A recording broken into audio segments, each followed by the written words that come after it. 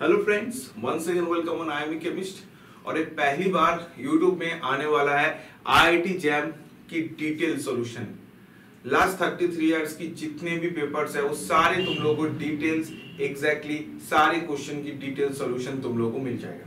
Only one आई chemist में, और इनके लिए तुम्हें क्या करना पड़ेगा? चैनल को सब्सक्राइब करना पड़ेगा और बेल आइकन को प्रेस करके रखना है. तो दिन कोई भी न्यू वीडियो आएगा तो सबसे पहले तुमको नोटिफिकेशन मिल जाएगा.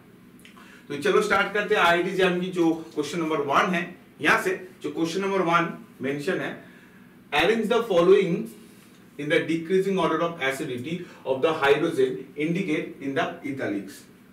जो यहाँ पे जो बोल्ट साइन करके गिवन है, इनकी जो एसिडिटी ऑर्डर को मुझे निकालना पड़ेगा। मतलब ये जो वन टू थ्री फोर यहाँ अभी तुम्हें क्या है? देखो एसिडिटी मतलब क्या है? एसिडिटी मतलब the greater the stability of conjugate base higher will be the acidity तो मुझे यहाँ पे सारे कंपाउंड को लिखना है। जैसे अगर मैं पहले कंपाउंड को लिखूँगा C H three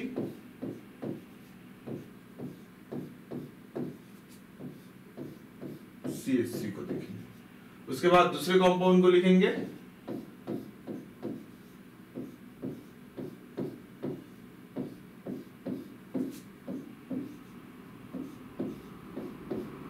ठीक है ये जो कंपाउंड सारे लिख रहे हैं ना, ये सारे कंपाउंड की जो हाइड्रोजन है, ठीक है, उनकी बेसिकली क्या है? स्टेबिलिटी देखना है तुम्हें स्टेबिलिटी तीसरे कंपाउंड को मैं लिख रहा हूँ।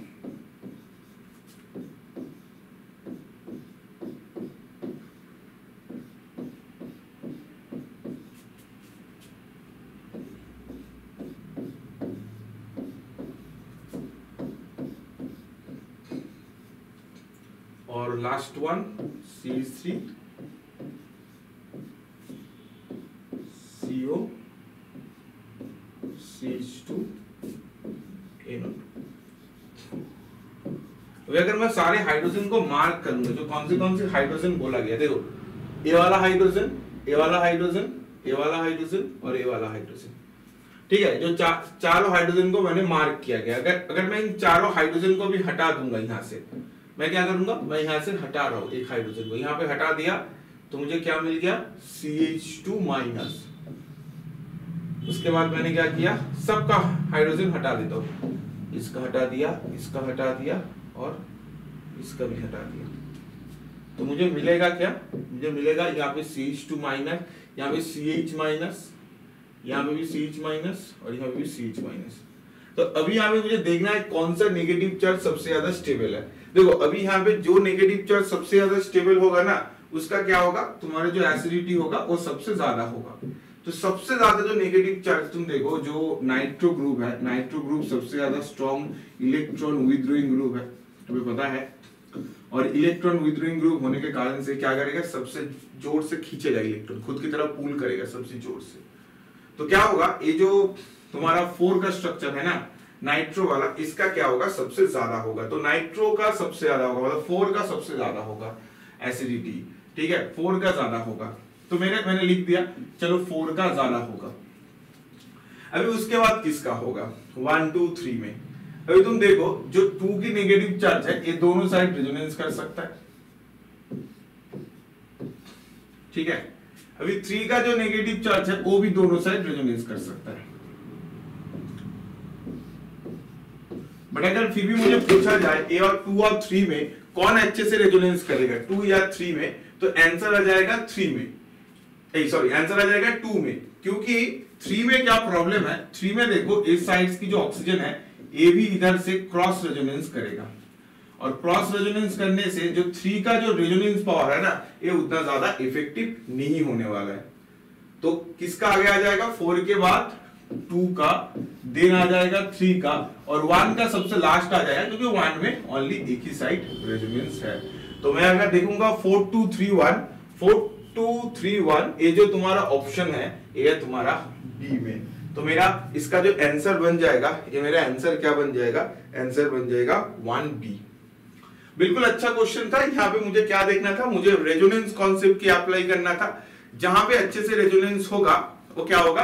वो उसकी कॉन्जुगेट में ज़्यादा स्टेबल होगा और कॉन्जुगेट में ज़्यादा स्टेबल होगा तो एसिडिटी भी ज़्यादा होगा। तो बहुत ही इजी क्वेश्चन था। आई थिंक सबको ही समझ आ गया।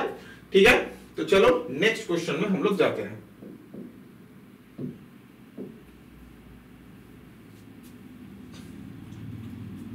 चलो next question For the reaction shown below, if the concentration of cation is increased four times, the rate of the reaction will be. अगर मैं मेरी रिएक्टेंट को देखूँगा, इसकी कॉन्सेंट्रेशन को मैं फोर टाइम्स करूँगा। ठीक है? ये जो केसीएन है। किसकी कॉन्सेंट्रेशन केसीएन की कॉन्सेंट्रेशन तो मेरा जो रिएक्शन रेट कितने टाइम्स होगा? ये पूछा है। केसीएन फोर टाइम्स तो अभी अगर इस रिएक्शन को देखोगे रिएक्शन कैसे होगा? ये जो क्लोरीन है, अगर तुम इस क्लोरीन को देखोगे एक क्लोरीन अगर रिलीज़ हो जाएगा तो मुझे कुछ इस तरह का एक कार्बोकेटन मिलेगा।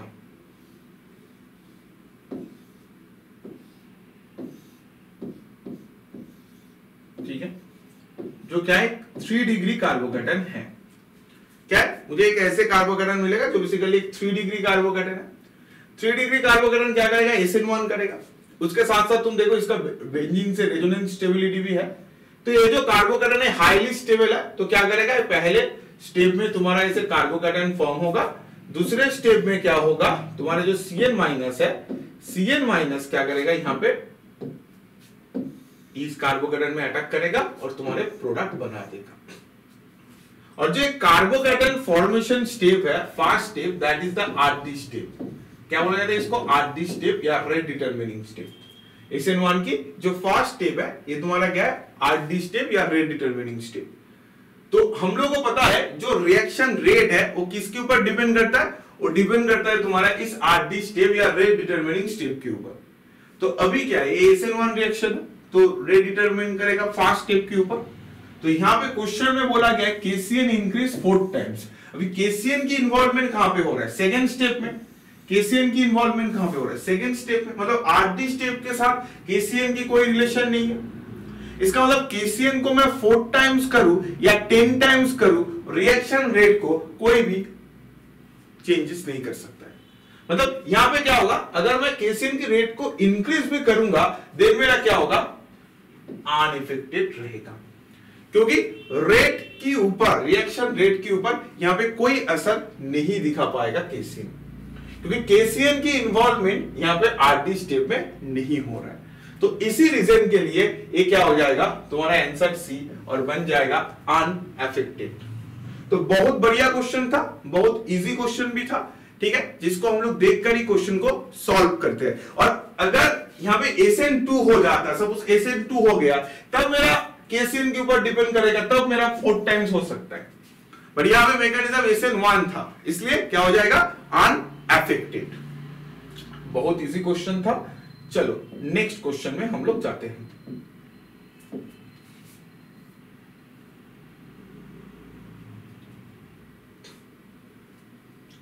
Benzyl chloride is reacted with different nucleophilic nucleophiles shown below arrange then in the decreasing order of reactivity ये जो चारों न्यूक्लियोफाइल गिवन है तो इनकी रिएक्टिविटी ऑर्डर मुझे बताना है।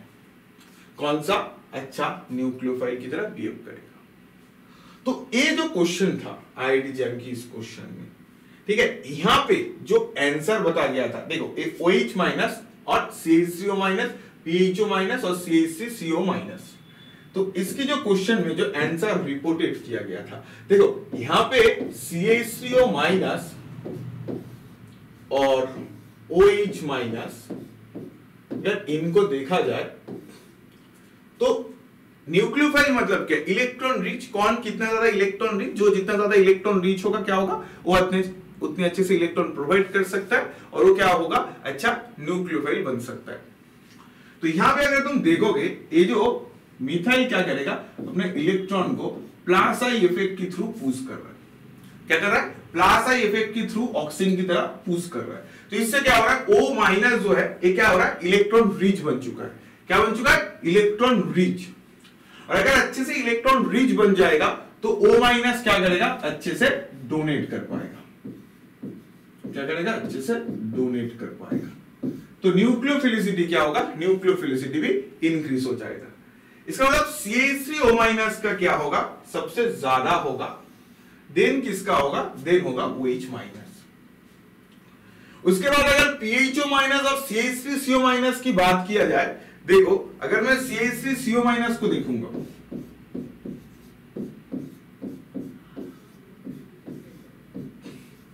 ये मेरा C H three CO minus है, और और मेरे ये मेरा आ आयन है ठीक है?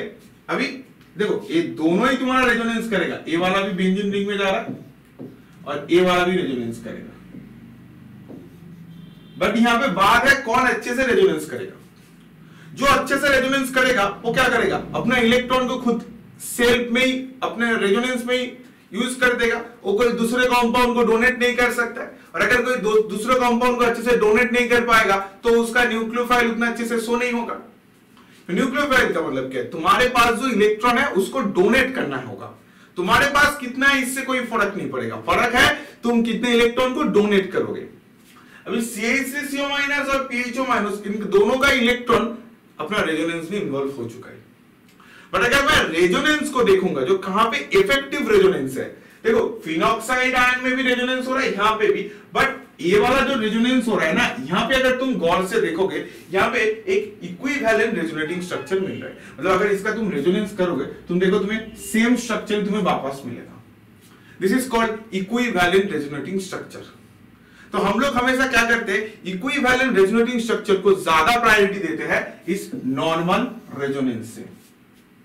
इसलिए ये वाला जो फोर का जो रेजोनेंस है सी सी सीओ माइनस इसका क्या है, एक कंप्लीटली अपना जो इलेक्ट्रॉन है, वो रेजोनेंस में इन्वॉल्व हो चुका है, क्योंकि इक्विवेलेंट रेजोनेंस स्ट्रक्चर हो रहा है तो ये क्या करेगा लेस न्यूक्लियोफाइल होगा। उधर पीएचओ माइनस यहाँ पे यहाँ पे भी रेजोनेंस हो रहा है बट ये क्या करेगा, कुछ हद तक डोनेट कर सकता है। बट ये वाला बिल्कुल नहीं डोनेट करेगा क्योंकि due to equivalent resonance structure क्योंकि इक्विवेलेंट रेजोनेंस स्ट्रक्चर बहुत ही पावरफुल होता है नॉर्मल रेजोनेंस से। तो इसलिए क्या हो गया? पीएचओ माइनस को आगे रख दिया और CH3CO माइनस को पीछे रख दिया। क्योंकि CH3CO माइनस क्या हुआ? कंप्लीटली रेजोनेंस में इन्वॉल्व होने के कारण से इसका क्या हुआ? न्यूक्लियोफिलिसिटी है, वो बहुत ज़्यादा डिक्रीज हो चुका है। तो मेरा आंसर क्या बन चुका है? आंसर बन चुका है ए CaCO minus, OH minus, PHO minus और CaCC double O minus. तो बहुत ही बढ़िया क्वेश्चन था।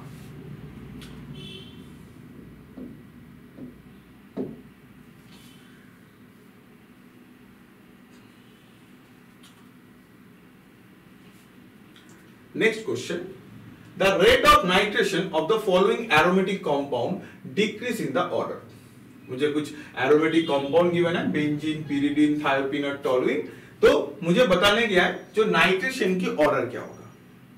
अभी नाइट्रेशन में क्या होता है? बेसिकली नाइट्रेशन में होता क्या है? देखो नाइट्रेशन में होता क्या है? तुम्हारा एक कॉन्सेंट्रेट HNO3 और H2SO4 इन दोनों की रिएक्शन से तुम्हारा फॉर्मेशन होता है एक NO2 प्लस नाइट्रोनियम आयन जो एक लीनियर स्ट्रक्चर होता है।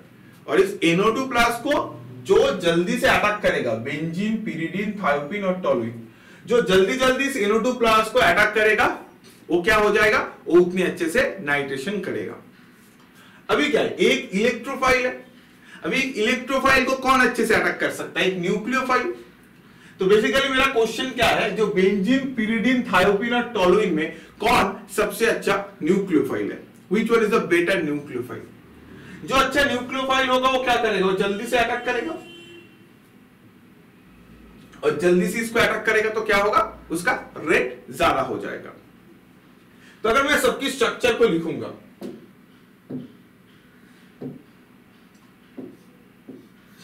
बेंजीन टॉलुइन थायोपिन और पीरिडी ये जो स्ट्रक्चर है। अभी देखो ये जो मिथाइल है ना मिथाइल की क्या कर रहा है बोलो तो इलेक्ट्रॉन पुश कर रहा है। प्लस आई इफ़ेक्ट भी हो रहा है as well as hyperconjugation भी हो रहा है। तो plus effect and hyperconjugation इन दोनों इफ़ेक्ट के लिए क्या हो चुका है? मिथाइल की जो रिंग है ना मिथाइल पुश करने के कारण से ये जो बेंजीन की जो रिंग है, ये ज़्यादा इलेक्ट्रॉन रिच हो गया है। और अगर ज़्यादा इलेक्ट्रॉन रिच होगा, वो क्या करेगा? जल्दी जल्दी अटैक करेगा और नाइट्रेशन NO2 प्रोडक्ट बना देगा। मतलब टोलुइन जो है, यहाँ पे सबसे अच्छे से बेस्ट रिएक्टिविटी शो करेगा। क्योंकि यहाँ पे क्या कर रहा है? इलेक्ट्रॉन पुश करने के लिए बेंजीन रिंग, ज़्यादा इलेक्ट्रॉन रिच बन रहा है तो ये क्या करेगा? जल्दी जल्दी इलेक्ट्रोफिलिक सब्सटीट्यूशन करेगा। मतलब टोलुइन ज़्यादा करेगा। मतलब देखो फोर जो है फोर सबसे फास्ट रिएक्शन करेगा। देखो for fast only option A में है। मतलब इसको देखकर ही मैं आंसर ए बता सकता हूँ कमेंट कर सकता हूँ। बट अगर मैं इसको और भी अच्छे से एक्सप्लेन करूँगा, बाकी पैरामीटर को भी, देखो, इसका तो मेरा टॉलरेंस सबसे आगे आ गया। अभी अगर बाकी तीनों में देखा जाए, बाकी तीनों में देखा जाए तो हमेशा याद रखना है जो तुम्हारा पीरिडीन होता है। Pyridine is equivalent to nitrobenzene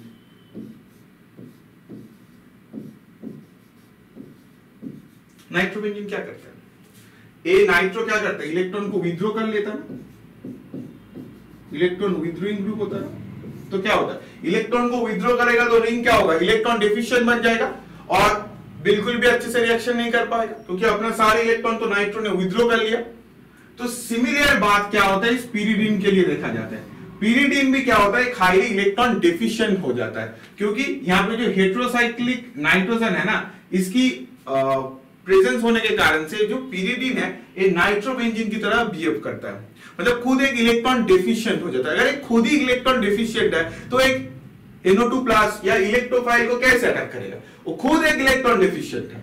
इसलिए नाइट्रोबेंजीन हमेशा क्या होता है? लीस्ट लीस्ट रिएक्टिव होता है। हमेशा याद रखें नाइट्रोबेंजीन या पीरिडिन ये सब क्या होता है? लीस्ट रिएक्टिव होता है। ठीक है? तो इसलिए पीरिडिन सबसे लास्ट में जाएगा। इसलिए देखो पीरिडिन जो है टू टू यहाँ पे सबसे लास्ट में है। आंसर वन में। ठीक है? टू यहाँ पे क्या? सबसे लास्ट में गिवन है। अभी बात है बेंजीन और थायोपिन के केस में। बेंजीन और थायोपिन में क्या होगा? अभी देखो, अगर बेंजीन की रेजोनेंस एनर्जी तुम्हें पता है बेंजीन की रेजोनेंस एनर्जी होता है 36 किलो कैलोरी और थायोपिन का होता है 26 किलो कैलोरी बेंजीन की जो रेजोनेंस एनर्जी होता है, या एरोमेटिसिटी इलेक्ट्रॉन डेंसिटी वो बहुत गुना ज़्यादा होता है सल्फ़र से। सल्फ़र में उतना नहीं हो पाता है, क्योंकि यहाँ पे हेट्रो हेट्रोसाइक्लिक कंपाउंड है, उतना ज़्यादा जो इलेक्ट्रॉनिक ओवरलैप है, उतने अच्छे से नहीं हो पाता है, जो बेंजीन में होता है। क्योंकि बेंजीन में क्या है, सारे कार्बन है, सारे होमो आइटम होने के कारण से यहाँ पे इलेक्ट्रॉन डेंसिटी इलेक्ट्रॉन रिच बहुत ज़्यादा होता है।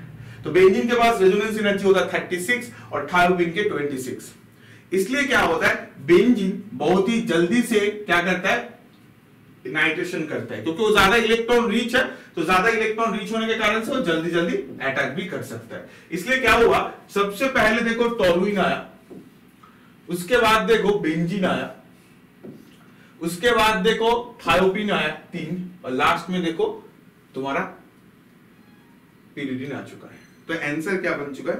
आंसर बन गया A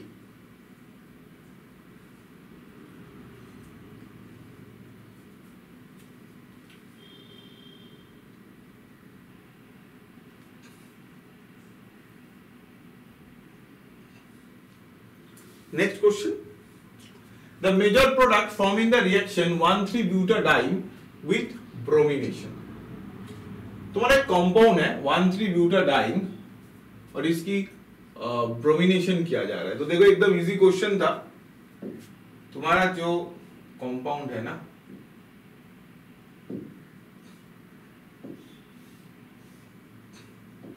ये तुम्हारा वन थ्री ब्यूटा डाइन है। ठीक है? तो यहाँ पे अगर ब्रोमिनेशन दूँगा B R B R okay bromination करूँगा। तो क्या होगा? ये वाला बॉन्ड इधर गिरेगा, इसको निकल देगा, और ये वाला बॉन्ड इधर हो जाएगा। तो यहाँ पे क्या बनेगा?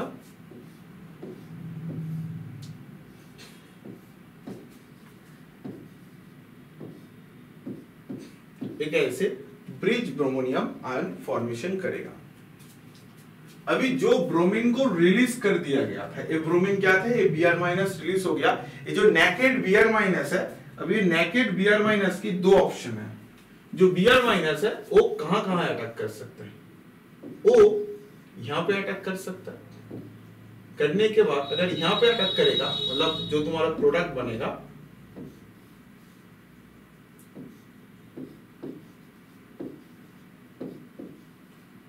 ऐसे प्रोडक्ट बना देगा। ठीक है? मतलब जो तुम्हारा आंसर आंसर कहाँ पे आ रहा है? ये वाला आंसर ऐसे कोई आंसर आई थिंक नहीं है। है क्या? ऐसे कोई आंसर नहीं है। बट अगर ये वी आर माइनस तुम्हारा इस पोजीशन में अटैक करेगा, इस sp2 में, ये वाला बॉन्ड इधर जाएगा और ये वाला बॉन्ड इधर से टूट जाएगा, तब मेरा जो प्रोडक्ट बनेगा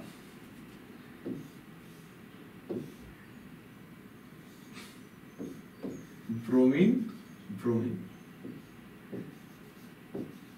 तो तुम्हारा आंसर कहाँ पे? आंसर डी में है। बेसिकली यहाँ पे एक ही साइड से अटैक कराया गया क्योंकि ए वाला साइड का प्रोडक्ट गिवन नहीं है, और ए वाला प्रोडक्ट ही फॉर्मेशन होगा, क्योंकि इसकी जो डबल बॉन्ड है ना that is the more substituted double bond मतलब ये क्या करेगा? इस sp2 में अटैक करेगा, और sp2 में अटैक करने के बाद ए वाला जो डबल बॉन्ड है, इधर माइग्रेट करेगा और जो ब्रिज ब्रोमोनियम आयन है, जो थ्री मेंबर रिंग है, जो क्या करेगा? जल्दी जल्दी ब्रेक हो जाएगा, टूट जाएगा। और टूटने के बाद तुम्हारा जो प्रोडक्ट है प्रोडक्ट तुम्हारा डी को बना देगा। ठीक है? प्रोडक्ट तुम्हारा डी को बना देगा। तो बहुत ही अच्छा क्वेश्चन था, ठीक है? एकदम बेसिक रिएक्शन था। नेक्स्ट क्वेश्चन में अगर जाएँगे ये वाला क्वेश्चन थोड़ा कंट्रोवर्शियल क्वेश्चन था। The reaction of plus to iodobutane and NaI star. Star मतलब क्या? यहाँ पे आइसोटोप क्या दिया? Isotope radioactive isotope I star I star मुझे एक बार बताओ तो आयोडीन की जो आइसोटोप है, ठीक है? कमेंट सेक्शन में मुझे बताओ, वो कौन सी रिएक्शन में यूज़ होता है? मतलब कौन सी स्टाडी के लिए यूज़ किया जाता है? आयोडीन की। जो आइसोटोप है, आयोडीन 131 ठीक है? वो आइसोटोप कहाँ पे यूज़ होता है? तो I start is radioactive isotope of iodine in acetone was studied by measuring the rate of racemization rate of racemization care and the rate of incorporation of I star मतलब कितने आइस्टर formation हो रहा है, ठीक है? और कितने तुम्हारा रेसिमाइजेशन हो रहा है?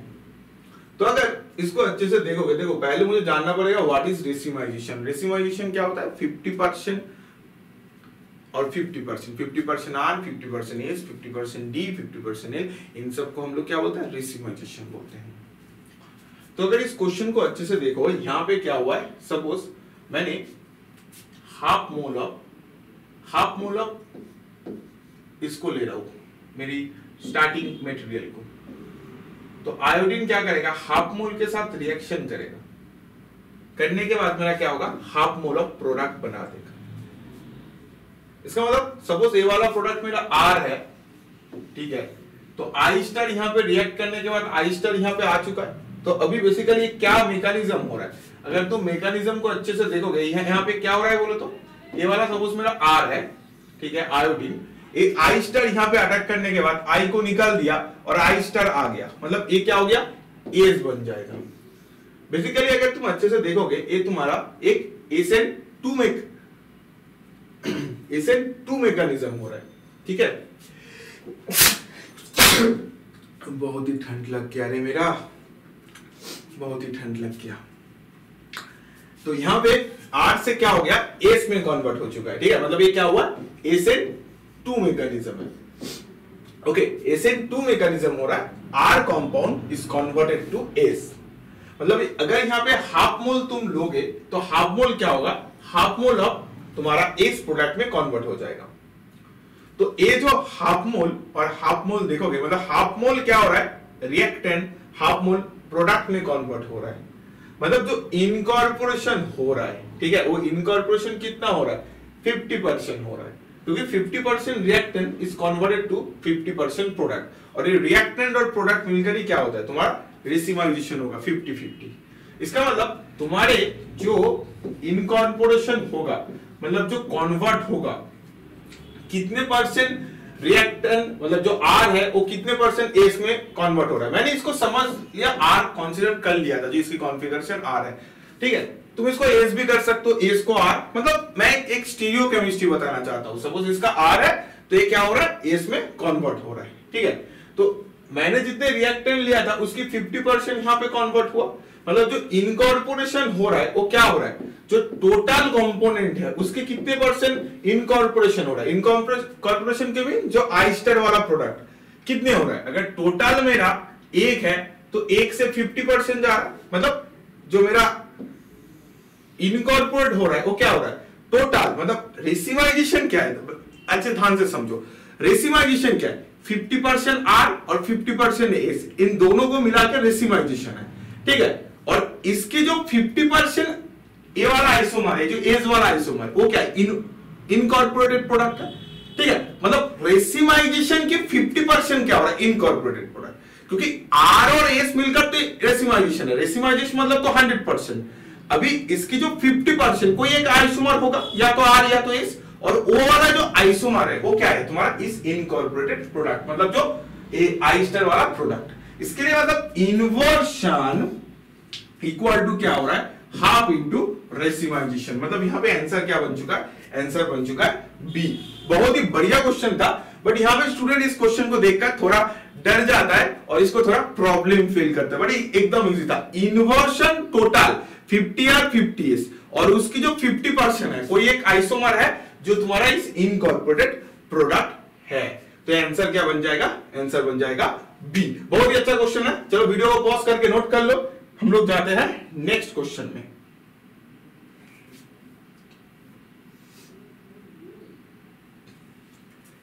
एक डीएनए है। एक डीएनए में क्या दिया गया? हम लोग को बीओइच होल टू दिया गया। एक प्रोडक्ट पी होगा। एक बार डीएनए में एमजी और हीट गिवन है, जहाँ पे पीओ थ्री माइनस क्यू उसके अंदर एच दिया जाएगा आर एस प्लस सुगर तो मुझे इन पी क्यू और आर एस को निकालना है. ठीक है? पी क्यू आर एस तो अगर हम लोग यहाँ पे देखेंगे डीएनए को, अगर तुम डीएनए को क्या देखोगे? बीओइच होल टू दोगे ना?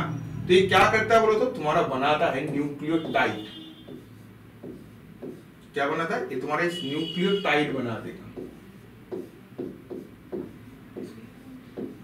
क्या बनाता है अगर डीएनए के अंदर बीओएच होल टू देते हो, न्यूक्लियोटाइड। ठीक है, न्यूक्लियोटाइड मतलब क्या होता? है न्यूक्लियोटाइड मतलब होता है base plus sugar plus sugar यहाँ पे दिखाई दे रहा है। Base plus sugar plus phosphate.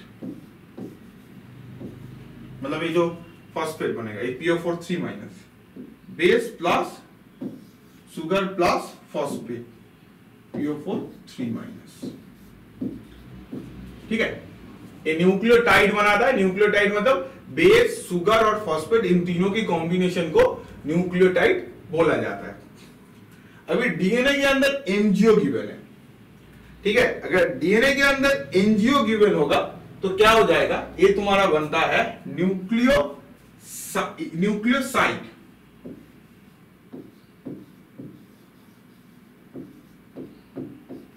Nucleoside nucleoside बनाएगा न्यूक्लियोसाइट ठीक है न्यूक्लियोसाइट प्लस फॉस्फेट। अभी न्यूक्लियोसाइड मतलब क्या है? देखो, अच्छे से समझो। न्यूक्लियोटाइड इक्वल टू क्या था? बेस सुगर फॉस्फेट अभी वहाँ से क्या हुआ है? फॉस्फेट को अलग किया गया फॉस्फेट तो अलग ही है। मतलब न्यूक्लियर साइट इक्वल टू क्या हुआ? बेस और सुगर ये जो बेस और सुगर है ना, ये तुम्हारा क्या हो गया? ये तुम्हारा न्यूक्लियर साइड हो गया. मतलब न्यूक्लियर साइड मतलब क्या? बेस प्लस सुगर क्योंकि फॉस्फेट तो अलग करके लिखा ही गया ठीक है? अभी ये जो कंपाउंड है न्यूक्लियोसाइड न्यूक्लियोसाइड तुम्हारा क्या है? क्यू है. मतलब न्यूक्लियोटाइड तुम्हारा पी था, न्यूक्लियोसाइड तुम्हारा क्यू है। न्यूक्लियोसाइड के अंदर एच दिया है। तो क्या निकला है? बोला गया है सुगर निकल गया है। तो अगर सुगर निकल गया तो उसके साथ क्या होगा? उसके साथ होगा पीरीमिडिन एंड प्यूरिन बेस क्या होगा? ये वाला पीरीमिडिन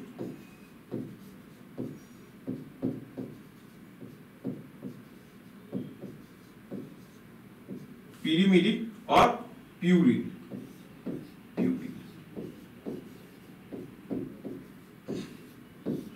कंप्लीट बायो की क्वेश्चन था ये। मतलब क्या हुआ तुम्हारा? जो डीएनए था डीएनए के अंदर बीओएच टू देने के बाद न्यूक्लियोटाइड हुआ। न्यूक्लियोटाइड बेसिकली क्या है? न्यूक्लियोटाइड तुम्हारा बेस सुगर एंड फॉस्फेट की कॉम्बिनेशन को न्यूक्लियोटाइड बोला जाता है। अगर डीएनए के अंदर एमजी और हीट दिया जाएगा, उसको न्यूक्लियोसाइड बोला जाएगा। ठीक है, क्या बोला जाएगा? न्यूक्लियोसाइड अभी न्यूक्लियोसाइड क्या है? N U C L E O ठीक है न्यूक्लियोसाइड यहाँ पे न्यूक्लियोसाइड की स्पेलिंग गलत लिखा है।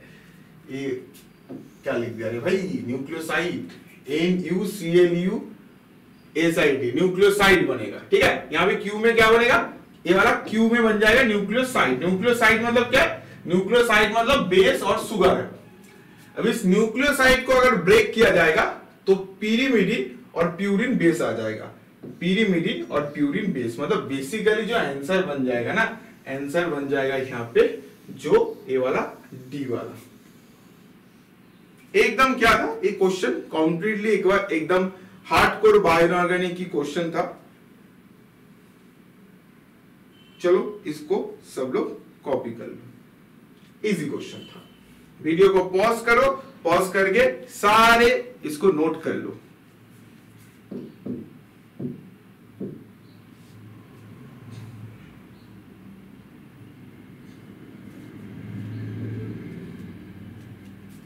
इस क्वेश्चन को देखा जाए तो क्या होगा? प्रोडक्ट एकदम इजी था। देखो, यहाँ पे वाटर क्या करेगा? जो ऑक्सीजन की वाटर है, यहाँ पे अटैक करेगा। क्या करेगा? एक एल्कोहल को निकाल देगा।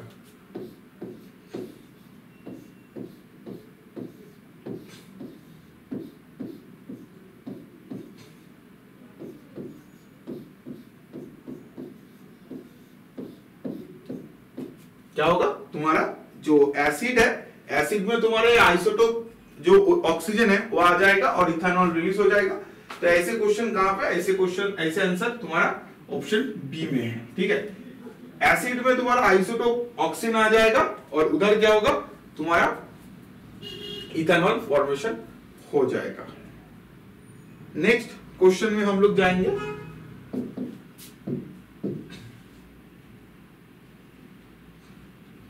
The product in the following reaction ठीक है? Product in the following reaction question थोड़ा लेंदी है तो मुझे थोड़ा ऊँचा करना पड़ रहा है, क्योंकि इतने सारे ऑप्शन है ना मतलब सारे कट गया है।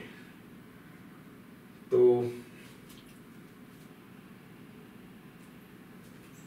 थोड़ा इसको साइड कर रहा हूँ। देखो, ये मेरा क्वेश्चन था, इस कंपाउंड को बेसिकली क्या है मुझे? रिएक्शन कराना है।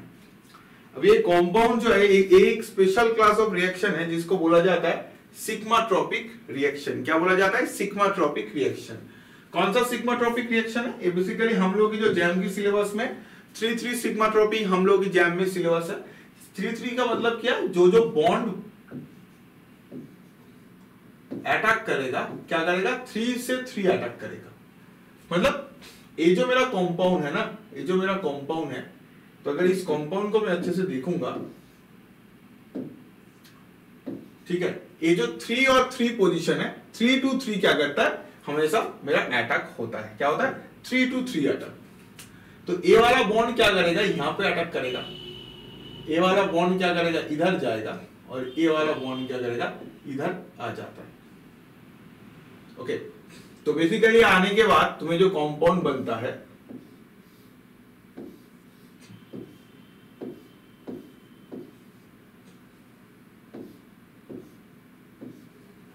एक, दो, तीन, चार। चार कार्बन है। इसकी मिडिल में एक मिथाइल को छोड़कर एक मिडिल में डबल बॉन्ड है।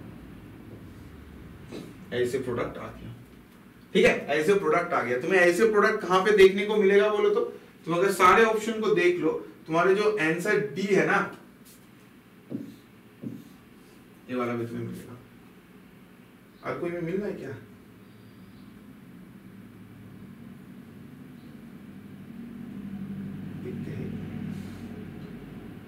नहीं डी में नहीं दूसरे ऑप्शन डी में तो मिक्सिंग दिया गया है। डी में नहीं होगा डी में तो ये सारे ऑप्शन दिखाई नहीं दे रहा था। अभी आई थिंक अभी आई थिंक तुम सबको दिखाई दे रहा है ना? हाँ, अभी आई थिंक सारे ऑप्शन दिखाई दे रहे अच्छा अभी रिएक्शन खत्म नहीं हुआ रिएक्शन को खत्म करते हैं चलो। इसकी जो ओइच है इसकी जो ओइच है ये ओइच अगर इधर जाएगा और ये एरोमेटिसिटी रिगेन करेगा तो एरोमेटिसिटी रिगेन करने के बाद जो बेसिकली तुम्हें कंपाउंड मिल रहा है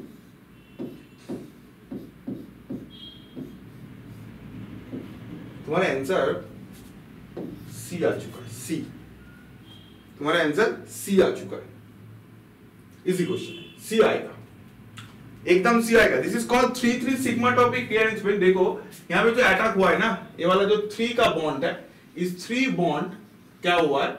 इस थ्री को अटैक किया थ्री टू थ्री अटैक हुआ इसलिए क्या बोलते हैं इसको? थ्री थ्री सिग्मा टॉपिक और जो बॉन्ड ब्रेक होता है, जो बॉन्ड ब्रेक होता है, जैसे ये वाला बॉन्ड ब्रेक हुआ है इस, जो बॉन्ड ब्रेक होता है, उसको हम लोग वन वन बोलते हैं। क्या बोलते हैं? वन वन वन वन बोलते हैं, जहाँ पे अटैक करता है थ्री थ्री सिग्मा टॉपिक हम लोग जैम में थ्री थ्री है मास्टर्स में जब जाओगे थ्री टू टू थ्री सब तुम्हें दिखाई देगा। जैम में अभी तक हम लोग की थ्री थ्री सिग्मा ट्रॉपी की है, जिसको, इसका एक नेम रिएक्शन है, जिसको बोला जाता है क्लेजन रीअरेंजमेंट ठीक है? मेरी प्लेलिस्ट में गिवन है, वहाँ पे जाकर अभी तक जो नेम रिएक्शन नहीं देखा है तो उसको देख लेना।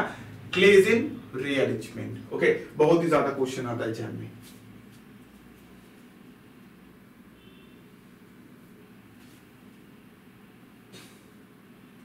Match the isoelectric point of the amino acid जो एमिनो एसिड्स है, यहाँ पे आइसोइलेक्ट्रॉनिक पॉइंट को मैच करने बोला गया।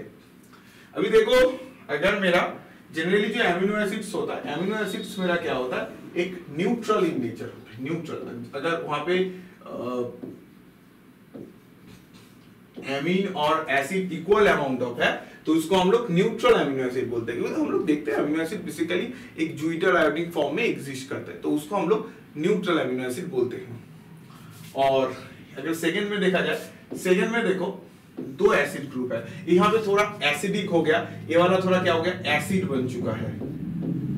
ठीक है एसिड और अगर और अगर आ, लास्ट वाला देखा जाए यहाँ पे NH2 देखो दो है, ज़्यादा NH2 ग्रुप है। पहले वाला देखो NH2 और एसिड इक्वल अमाउंट है, इसलिए न्यूट्रल सेकंड में देखो एसिड ग्रुप ज़्यादा है, इसलिए एसिडिक और थर्ड में देखो NH2 ग्रुप ज़्यादा है, इसलिए दैट इज़ द बेस ये क्या हो गया? This is the base group तो न्यूट्रल मेरा कौन हुआ? न्यूट्रल न्यूट्रल मेरा हुआ वन वाला, और एसिडिक हुआ टू वाला। अभी देखो, जितना ज़्यादा एसिडिक होगा एसिडिटी होने से जो आइसोइलेक्ट्रॉनिक पॉइंट वो क्या होगा? डिक्रीज करेगा। जैसे तुम अगर एसिडिक होता है तो पीएच वैल्यू डिक्रीज होता है ना? तो सिमिलरली यहाँ पे क्या होगा? आइसोलेट पॉइंट डिक्रीज करेगा। मतलब एसिड के लिए तीन होगा। क्योंकि एसिड का यहाँ पे सबसे कम है। तो एसिड के लिए तीन होगा। मतलब देखो, y के लिए थ्री y के लिए थ्री देखो। Y के लिए थ्री ओनली ऑप्शन वन में तुम्हें दिखाई दे रहा है। और कोई ऑप्शन में नहीं है। और ये है क्या? और कोई नहीं है। बेस का क्या होगा? सबसे ज़्यादा होगा। एसिड का अगर कम होगा तो बेस का ज़्यादा होगा। तो बेस का क्या होगा? बेस का वन होगा। मतलब जेड का देखो वन जेड का देखो वन यहाँ पे गिवन है। और जो मिडिल में बचा है न्यूट्रल न्यूट्रल का क्या हो जाएगा? 6.0 हो जाएगा। जो न्यूट्रल बचा है तो एक्स का टू आंसर ए क्या हुआ? एसिड का सबसे कम हुआ बेस का सबसे ज़्यादा हुआ और न्यूट्रल क्या होगा? बीच में रहेगा। तो मेरा आंसर क्या बन चुका? आंसर ए बन गया। तो एकदम इजी क्वेश्चन था। ये हम लोग का आईआईटी जैम की जो पार्ट वन है 2005 की, वो खत्म हुआ। 2005 की जो पार्ट टू है, वो तुम्हारा आ जाएगा चैनल में। उसके लिए तुम्हें क्या होगा? चैनल को ज़रूर सब्सक्राइब करना पड़ेगा। थैंक यू सो मच अच्छे से रहो हेल्दी रहो। All the best take care and bye